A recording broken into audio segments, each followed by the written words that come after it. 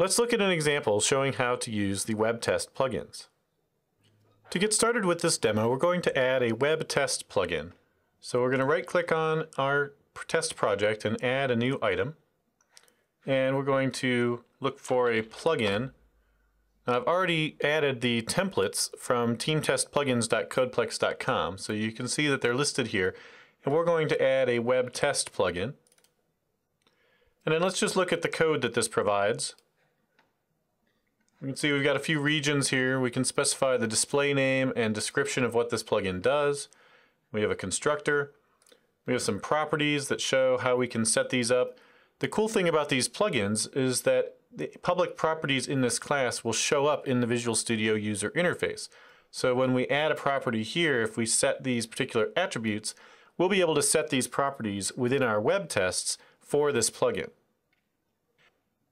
So now let's go ahead and look at one of our existing tests. We have this Browse Add to Cart web test. And if we look at the properties of this web test in the properties dialog, we'll see that it has a number of different properties here. One of them is a proxy server, which is the name of whatever web proxy we want to have. Now, if we want to set this dynamically from a plugin, we can do that by adding it as a property on our web test plugin. Another thing that we could do if we wanted is specify some kind of behavior to apply to every one of these web requests that, have, uh, that take place on this test. We could also add behavior that applies to the test as a whole. So let's look at what we might do to add that. The first thing we would do is add a property that represents the one that we want to show. And in this case, we're going to make that the proxy server. And so for that proxy server, I've got a property already set up that looks like this. And so we can say, here's our proxy server. And this is the proxy server, if any, that we're going to use.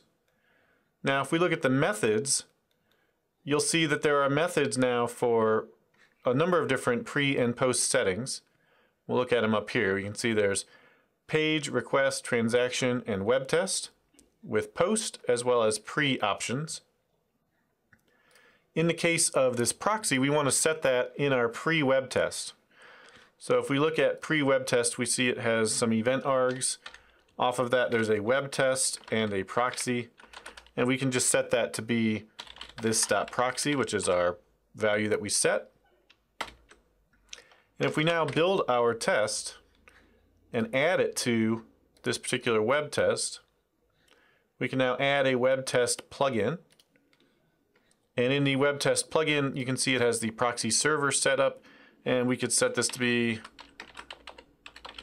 localhost, for instance. And now we have this proxy server is set.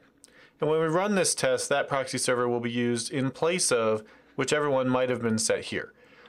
So if we wanted to make this somehow dynamic, uh, we could do so. So that's one way that you can uh, modify test behavior with a web test plugin. Another thing we might do is we could specify perhaps how long the test can run without failing. And so if we look again at our properties of our test, you can see that it, it does not have any sort of behavior that, to handle that right now.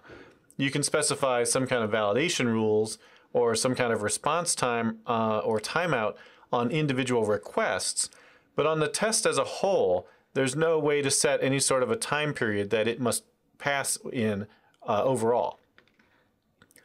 So if we wanted to do that, we would want to add a few things to this test. We'd want to come in here and add a timer, or in this case, a stopwatch. And so the stopwatch we would just put as a private member variable. And then we'd want to set that up inside the constructor. So we'll just new it up here and say stopwatch equals new stopwatch. And we'll want to start that when our tests begin. So in our pre-web test, where we set that proxy, the other thing we're going to want to do is start our stopwatch. So we'll do stopwatch.start. And then after the web test is complete, we want to test to see if we manage to do this within a certain threshold. So the next thing we need to do is specify what is that maximum threshold. And so we'll call that a maximum test time. And we'll set that as another property that we can set. So here I've already created this property. It's called maximum test time. We're going to say that it specifies the maximum time in milliseconds and it defaults to zero. And we'll use that here in our post web test to specify that if that time has been exceeded and it wasn't set to zero, zero is going to mean there is no maximum, then we'll fail the test. So here we're going to stop the stopwatch. We're going to pull out the elapsed milliseconds off the stopwatch. So the stopwatch elapsed milliseconds, we're just going to set that to a local. We're going to test to see if the user has set a maximum test time uh, greater than zero. We're only going to cause this behavior to occur if its value has been set to something greater than zero. And then if the elapsed milliseconds, the actual time that the test took, exceeds the maximum test time, then we're going to set the web test outcome to be failure. Now, if we go back to our web test and look at our plugin after we build,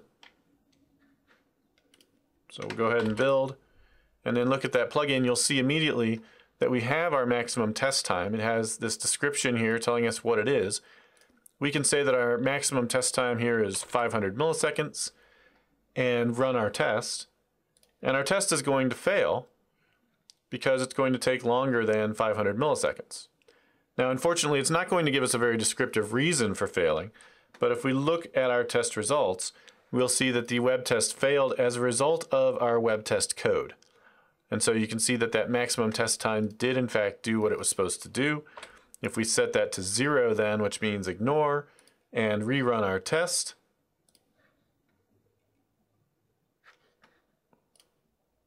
you can see that it passes. Now, one more thing that we could do in our web test plugin is specify whether or not we want to parse dependent requests. So if we look at each one of these individual web requests, you can see that it has a parse dependent request property, and that is set to true. Uh, we can change it on individual requests using this property, but we may want to change it at the whole test level so that we don't have to change it for each one of those.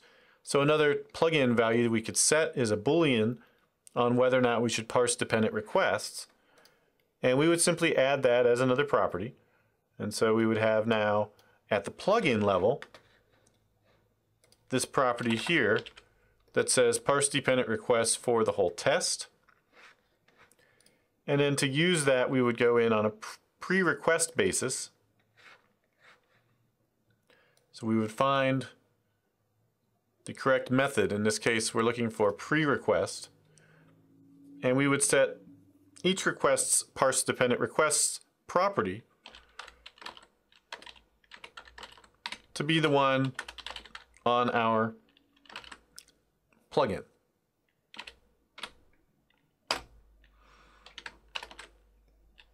Now we can go back to our test, check the plugin, set this value here to be false, for instance. And if we run this test, we will see now that we don't see any of the dependent requests, such as the style sheets and things like that. If we come back here and set this to true, run the test again, you see that we do get the style sheets and the jQuery, and we get the full uh, skinned version of the page. So you may find, uh, depending on what you're testing, that sometimes you want to ignore these dependent requests, and it could be handy for you to be able to set that with a plugin at the whole test level rather than having to do it for each individual request. So that's web test plugins. Now let's look at how we can add a web request plugin. So if we come back here and do another add new item and look for the web test request plugin, we'll add one of those and then let's look at what it gives us. It's very similar. This is coming from the same template that we got from Codeplex and you'll see that it has the same sort of properties set up for us and some overrides. In this case, it's much simpler. It only has a pre-request and a post request. For this example, let's say that we wanted to just add some logging around these particular requests. So we might create a little log method in our test helper. We'll add a class here that does this for us, and we'll just call it log helper, and we'll give it a, a little static method that looks like this. All right, so now we have a public static log method that's simply going to pull back the name of the method that was called. And we're going to add that in just so we know when each one of these gets called. So on our post request or pre-request, we'll call that log helper, log that method. And we'll do the same on the post request. And then if we wanted to debug one of our web tests, we can come into a particular request here and right click on it and say add a uh, request plugin. And we'll find our web test request plugin here. Say OK. And then we can run our test. Now what this is going to let us do is use a tool like Debug View. And Debug View is a handy tool you can get from sysinternals, which is now part of Microsoft's tools. And basically Debug View will let you capture and view the uh, debug output from any of your applications on your system. So when we run this test, we'll be able to pull this debug view back up and see these calls that we're now logging. So we'll run this and quickly pull up our debug view. And you can see that we already have some logging set up within the MVC store application. So we've got these repository calls that are logging stuff. And we can also now see that we ran this pre-request and we ran this post request here as well. So this is showing us simply that these things ran and, and when they ran, so we can see how much time these took. Now they only applied to that one request. If we wanted to view additional things, we could, or if we wanted to log some more interesting information, we could go into our plugin. Let's close this and jump back to our plugin. And we could log something more interesting. So in addition to the name of the method that we happen to be in, maybe we want to know something about the name of the request. So there's our e.request reporting name. We can just do a debug.print on that as well. And if we build and then run our test one more time, you can see now that the reporting name is listed as category 2 for that particular request. And so now we're seeing you know exactly what which test is happening and be very easy for us to add additional debug information within this particular test.